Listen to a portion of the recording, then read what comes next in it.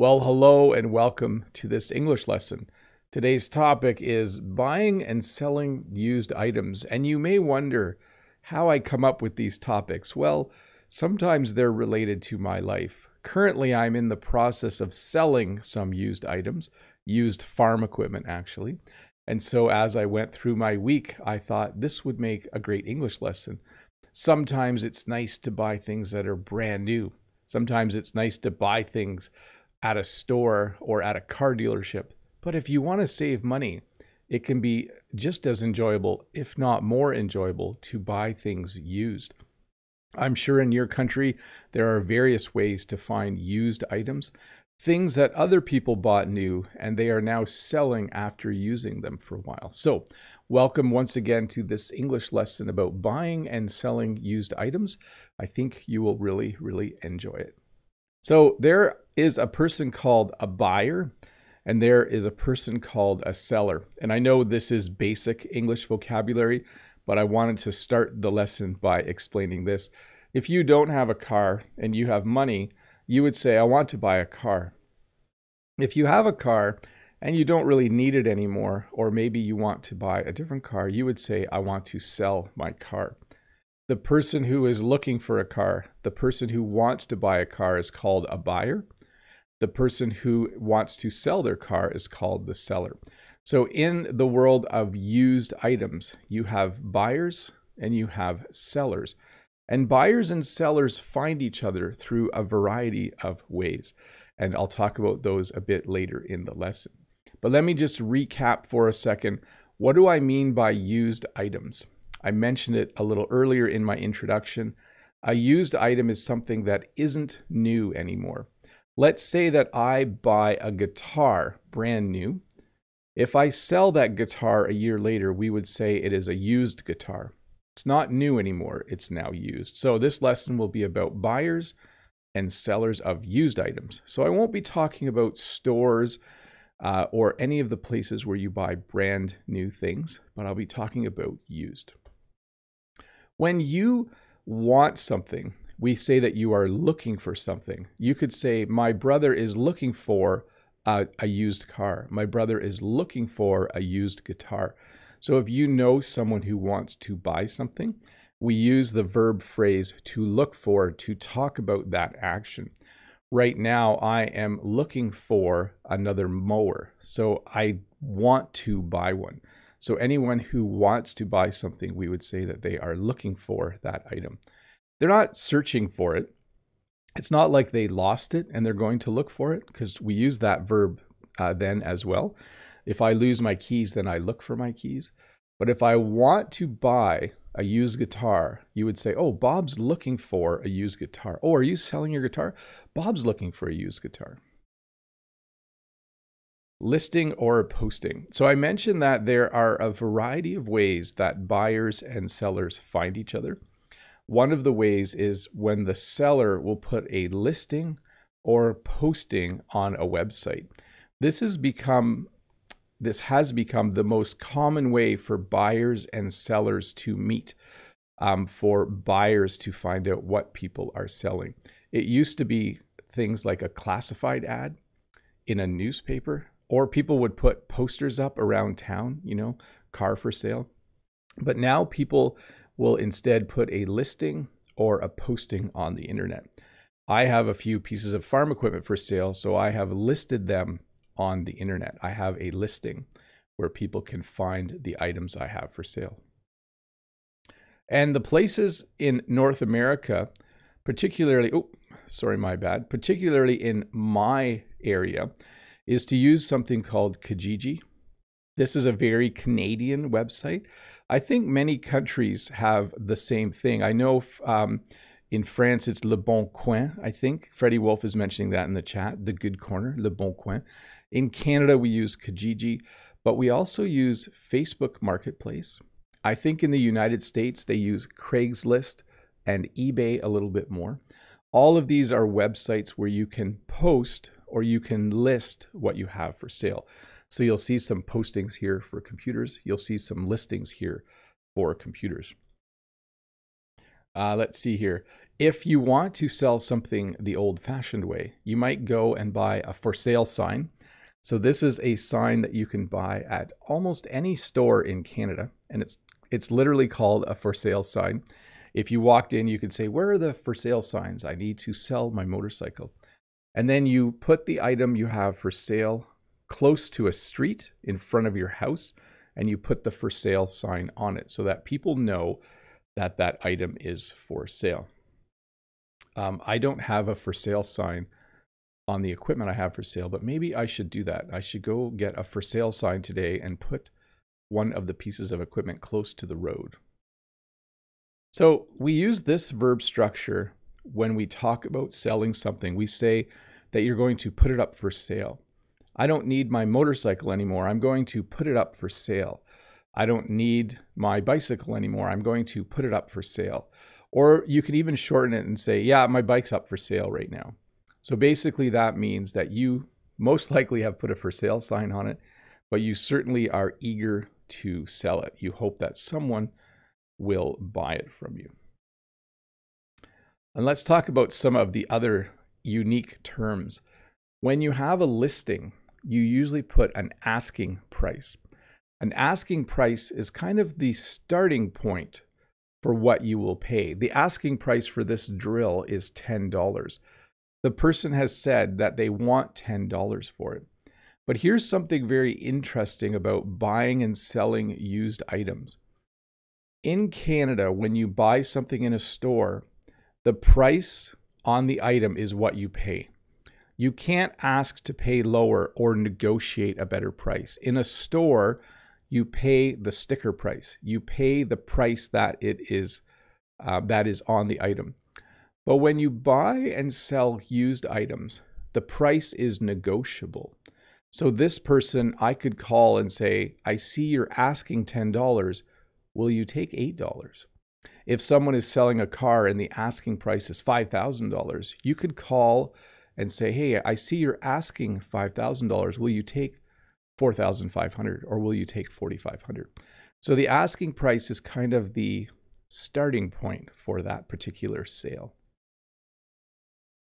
Sometimes people will not put a price on. They'll just say price negotiable.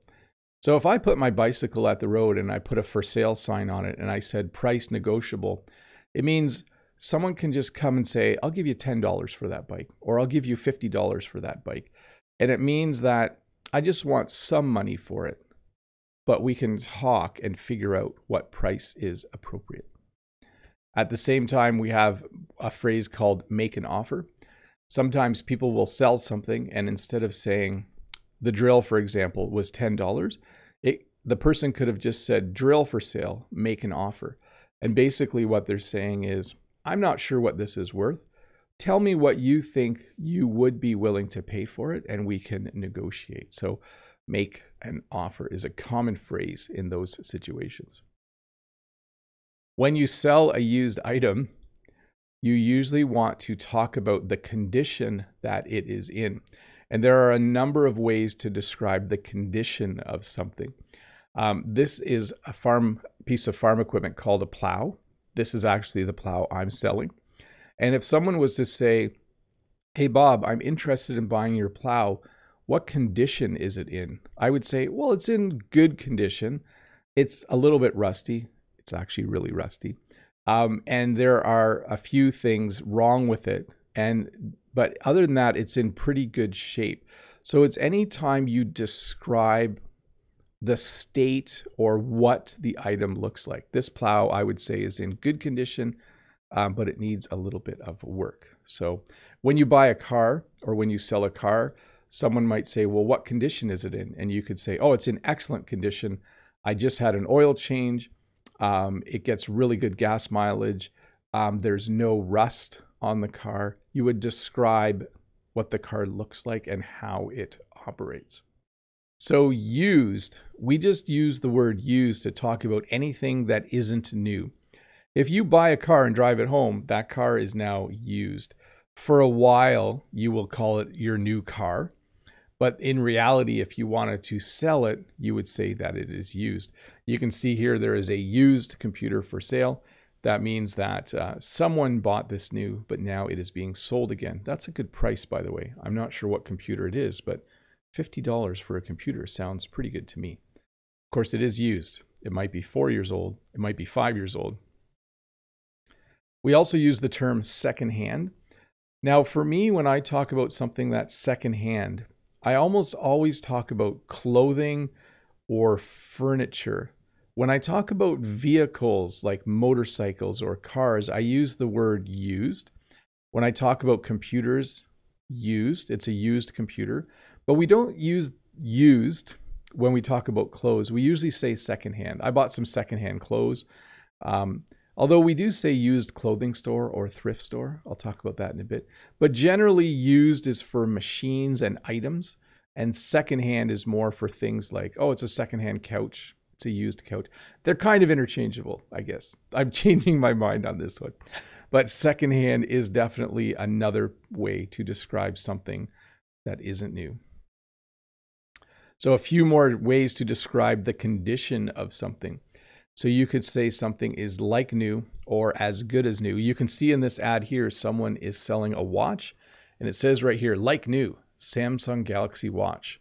So, open box simply means that the box has been opened, that someone probably actually used this watch at some point, but there's no scratches on it. Maybe they wore it once or twice, and the watch still looks like how it would look if you just bought it. So you would describe it as saying like new or as good as new. It's nice to buy things that are used that are like new or as good as new.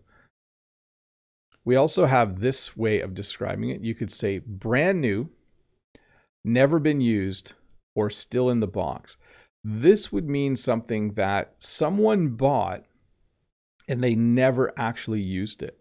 So maybe you bought a camera and you took it home and you opened the box and looked at it and you never actually used it. You would describe it as saying brand new or never been used, or it's very common to say still in the box, which means that you never really actually used it. So you can see in this ad here, this person selling, I think, another computer, brand new, still in the box.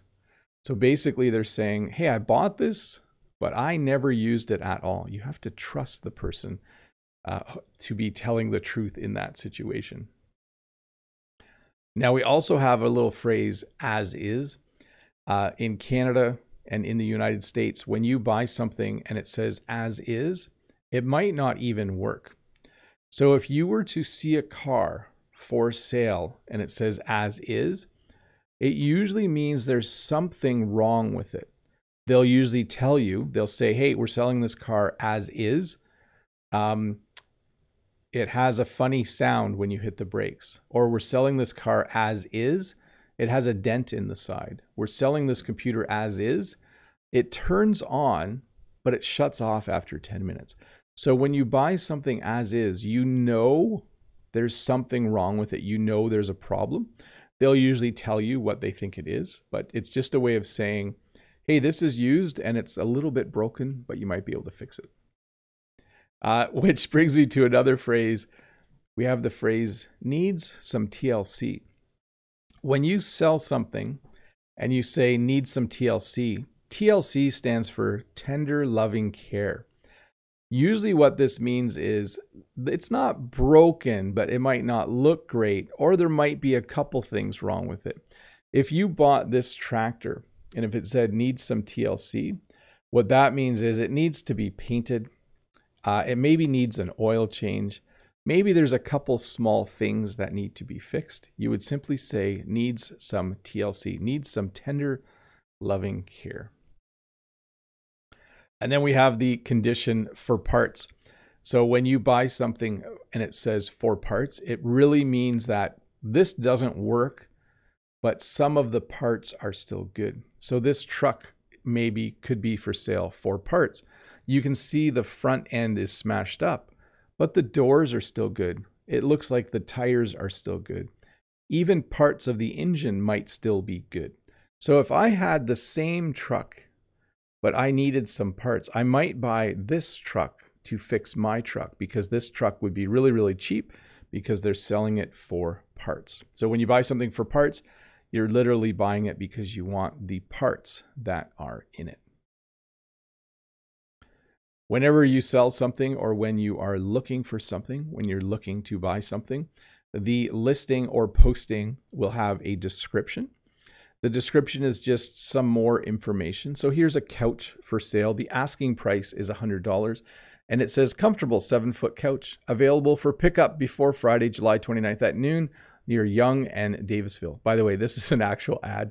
If you need a couch and you are near Yonge and Davisville today, you could buy this couch. It's a beautiful couch, it looks like. But yes, when you sell something, there is usually um, a spot where you can write a small description of it. And then we have um, when people start to express interest. So let's say I was selling um, a guitar. We'll use that example again. I would put a listing on Kijiji or Craigslist or eBay or Facebook Marketplace or Le Bon Coin if I was in France. Um, and then you might get a few, you might get some interest, you might get some inquiries, you might get a few nibbles. This is what we would call people showing interest. Is this item still available? Yes. Okay. Can I call, text you? Please give your phone number. By the way, that's not proper English. It's a, it should be please give me your phone number or please tell me your phone number. Um, this mean if you put a listing online and no one inquires, that's not a good thing. But usually when you put something online for sale, you'll have a few nibbles, you'll have a few inquiries, you'll have some interest shown. By the way, nibble comes from fishing. When you're fishing, and sometimes the fish will nibble on the bait. So we use the word nibble when talking about buying and selling as well. And let's talk a little bit about to make an offer, to accept an offer, and to make a counter offer. So these two gentlemen are negotiating a price. So the person says, hmm, and then the other person says, I'll give you $50 for it. So the person on the left is offering, he's making an offer. He's he said to his wife, maybe I'm going to go make an offer on the uh, guitar. I'm going to offer him $50. So he's making an offer. I'll give you $50 for it. The other guy says, hmm, and then maybe he thinks that's great. He says, You've got yourself a deal. And the other guy says, Awesome. Or you could say, Sounds good, or That's great. $50 sounds good. Uh, but you could also counter offer. So he says, I'll give you $50 for it. And the other guy says, How about $60? Maybe the asking price is $70. The first person says, I'll give you $50 for it. He makes an offer and the other guy makes a counteroffer. How about $60? And maybe they'll meet somewhere in the middle. So, to make an offer means to say, I will pay you this much for your item. To accept an offer would be to say, that amount sounds good. I'll take it. The item is yours. Or a counteroffer would be to kind of negotiate the price. Um, we have another little phrase when something is for sale, and it's the phrase OBO, which stands for or best offer. If I was selling, I have to think of something else to sell. I've I've been uh, I'm selling um, a couch, and if I said five hundred dollars or best offer, it means that I'm asking for five hundred dollars, but I'm willing to negotiate quite a bit. And if I get a number of offers, if someone says I'll give you 400, I'll give you 420, I'll give you 380, then after a few days, I'll call the person who offered 420 and say, look, you're the best offer, so it's yours if you want it. So usually when someone says or best offer, it means they're willing to negotiate on the price. Now the opposite would be to be firm on the price. So you can see here someone selling uh, some Prada glasses, price firm. Here's someone selling a 10 carat gold bracelet and it says price firm. When someone says they are firm on the price, it means that's the price they want. If you called the person with the sunglasses and said, I'll give you $70 if you were to make an offer, they would say, No, I'm firm at $80. I want $80 for it. So it means the person is not willing to negotiate. And then sometimes people will list something and they don't get very many inquiries. There's not very much interest. They don't get any nibbles. And so they would they decide, "Oh, it's time to reduce the price." When something is reduced, if you look over at the price there, it means they were asking $150. The asking price was 150, but they've decided to instead ask for 125. So it's reduced. This little fireplace is now only $125. By the way, this is still for sale. This is from yesterday. If you're in Toronto and you want a little fireplace, it's $125. And sometimes people don't actually want to sell their item. They would be willing to trade their item as well. So this car is for sale for $6,500. We would just say 6500 But if you look down here, you'll see contact Paul or trade for trailer, 4x4 truck, ATV, lawn tractor. So instead of giving him money, if you have a big truck for sale or a trailer, he's willing to trade. He'll give you his car if you give him his trailer. Um, by the way, also it says here low ballers will be ignored. A low baller is someone who offers a really, really low price. If you called this person and said, I'll give you $1,000 for that car, we would say you are lowballing him or you are a lowballer. And so he's basically saying, don't call me if you're only going to offer me one or two thousand dollars. I would like something closer to sixty five hundred. But also, he will trade for any of those other items. He's willing to trade. When you list something for sale, sometimes people will give the reason why they're selling it. This is a way to let the person know why you're getting rid of it, why you're selling it, so that they trust you a bit more. This person says, I'm selling because I bought a bigger boat. So you know then if you trust the person, he's not selling it because it doesn't work. He's not selling it because there's a hole in it. He's selling it because he bought a bigger boat and he doesn't need this small boat anymore. Actually, for me, that would be a big boat, but he bought a bigger boat, so he doesn't need it. So he has given a reason.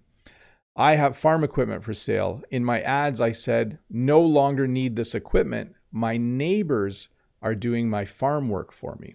Okay, so I'm giving a reason why I'm selling something to assure the potential buyer that it's still a good item. Uh, sometimes we'll say something is a bargain or a steal or a deal. Uh, by the way, the verb to steal means to take something without paying. But when you say something is a steal, you mean that you don't pay a lot of money for it.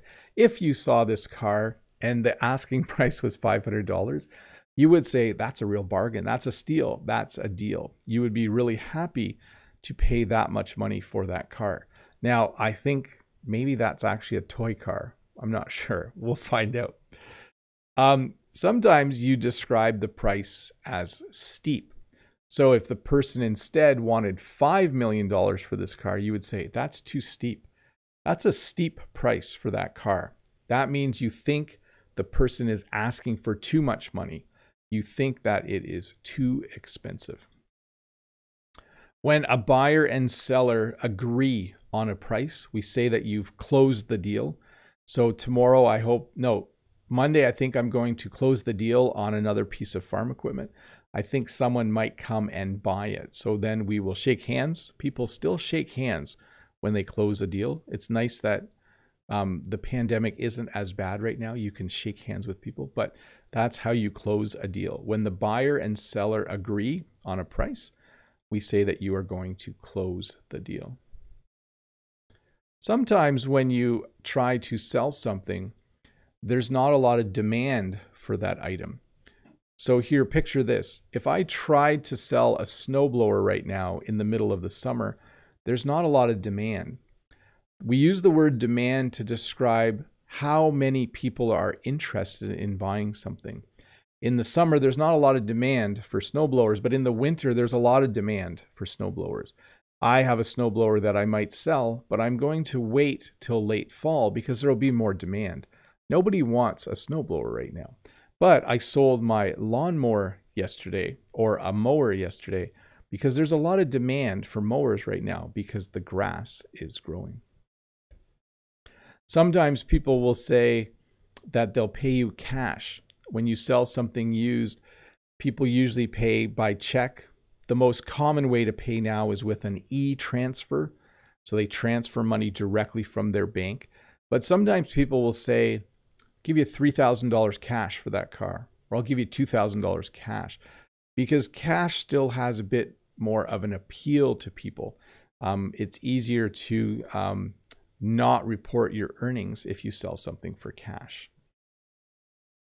And then just a couple places where you can buy used things, but places that aren't exactly the same as buying it from one person. So a garage sale or lawn sale or yard sale, there's three words by the way, is when you put a bunch of things on your front lawn on a Saturday morning usually, and people come and they buy things from you. You put your asking price on everything with a sticker. People will make an offer. They'll say, "Oh, I see you want $20 for this table. Will you take 15?" You make an offer. But a lawn sale, garage sale, yard sale is a place where you, um, a time when you sell items on your front lawn to people who are driving around on a Saturday looking for deals. We also have stores called thrift stores or secondhand stores. Some people just uh, will call it by its name. Here we have a store called Value Village and we have a store called Goodwill. But a thrift store is a place that um, sells used clothing, they sell secondhand clothing, they sell all kinds of things that have been used um, by the previous owner. So, uh, thrift store shopping is something that teenagers really like to do. They like to look for name brand clothing at thrift stores so that they can get a real deal. If you can find something made by Prada in a thrift store, it's probably a steal. It's probably a good deal. And I'm going to end with a couple buying and selling phrases that make me smile. One is the phrase, when something is too good to be true. So if you did actually find this car somewhere, and if you told your friend, I saw a Lamborghini, that is a Lamborghini, right? Yes, I saw a Lamborghini and it's only $500. Your friend would probably say, that's too good to be true. And what they mean by that is there's got to be something wrong with this car. There must be something broken. There has to be a reason. It can't be a perfectly good car. That would be too good to be true. And then the other phrase is the phrase, you get what you pay for. So let's say this tractor is normally $20,000 and I buy it for $10,000 and then the wheel falls off. Because I paid so much less than what people would normally charge for it, we would use that phrase, well, you get what you pay for. So when you pay well below the asking price and something breaks quickly, we often will say, hey, you get what you pay for. Basically meaning, well, you didn't pay enough for it, so there had to be something wrong with it.